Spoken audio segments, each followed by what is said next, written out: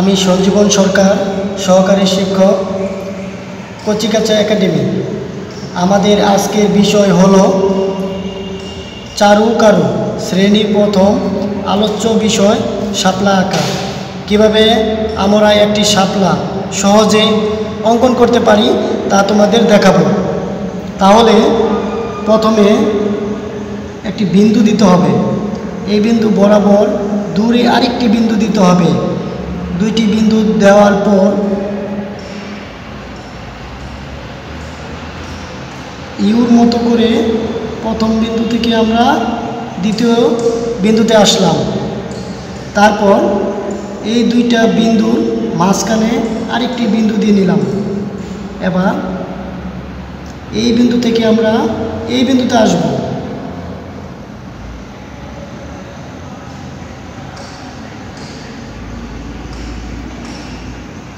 আসলাম। এবার এই পাশের বিন্দু থেকে একই রকম করে আমরা এই বিন্দুতে আসব। এবার এই বিন্দুটা বরাবর উপরে, এই বিন্দু বরাবর উপরে আরেকটি বিন্দু দিয়ে নেব। এই বিন্দু থেকে এইখানে আসব। একই রকম করে এই পাশে আমরা যেভাবে বিন্দু দাগটি দিয়েছি সেভাবে। এই পাশ থেকে একই রকম করে আরেকটি দাগ দেব। এবার এই দুইটি বিন্দুর মাঝখানে আরেকটি বিন্দু দিব। এই দুইটি বিন্দুর মাঝখানে আরেকটি বিন্দু দিব। এবার এই বিন্দু থেকে আবার এইখানে আসব। এই বিন্দু থেকে আবার এই এইখানে আসব। এই দুটি যেন সমান থাকে। একই রকম করে এ পাশ। এইখান থেকে আমরা এইখানে আসব। আবার এই পাশ থেকে এখানে আসব। অবশ্যই মনে রাখবে, এই বিন্দুগুলো যেন সমান থাকে। এই বিন্দুগুলো যেন সমান থাকে। তাহলে শাপলা ফুলটি দেখতে ভালো লাগবে।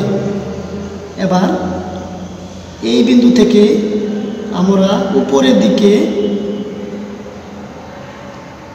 একটি দাগ দিব। একই রকম করে দুই পাশে একই রকম দাগ দিলাম। এবার এই বিন্দু থেকে আমরা এদিকে আসব। অবশ্যই এদিকে আসব। এই পাশের বিন্দু থেকে একই রকম করে এই পাশে আসব। এবার শাপলা ফুল অবশ্যই পানিতে থাকে।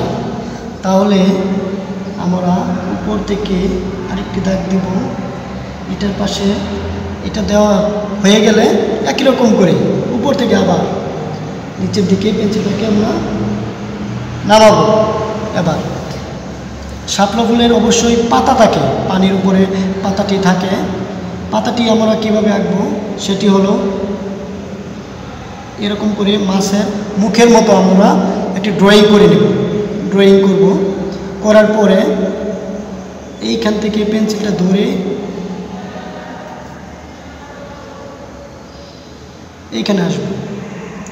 এইখানে আসার পর নিচ থেকে আবার একই রকম করে উপরে আমরা যেভাবে দেখালাম, নিচেও সেভাবে পেন্সিলটাকে দিয়ে ড্রয়িং করতে হবে।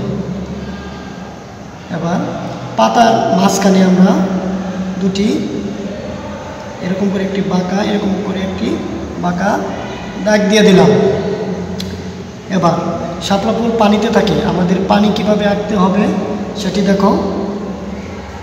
শাপলা ফুলটা এই এইখানে পেন্সিলটা ধরবে, ধরে উপরের দিকে যাব, আবার নিচের দিকে আসব, আবার একটু উপরের দিকে যাব। আবার এই পাশে ধরবো, ধরে উপরের দিকে পেন্সিলটাকে নিব, আবার নিচের দিকে পেন্সিলটাকে নিব। দিয়ে দিলাম। একই রকম করে মাঝখানে আবার দিব, উপরে যাব, নিচে যাব, উপরে যাব, নিচে যাব, এরকম করে দিয়ে দেব।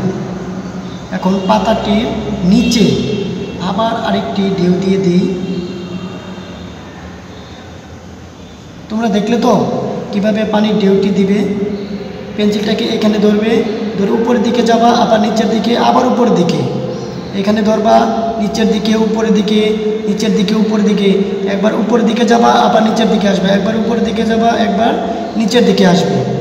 তাহলে তোমরা সবাই দেখতে পেলে কীভাবে একটি ফুল সহজে অঙ্কন করা যায়। দিয়ে দিব। তাহলে শিক্ষার্থীরা দেখলে তো কীভাবে সহজে একটি শাপলা ফুল অঙ্কন করা যায়। সবাই ভালো থাকবে, সুস্থ থাকবে। ধন্যবাদ সবাইকে।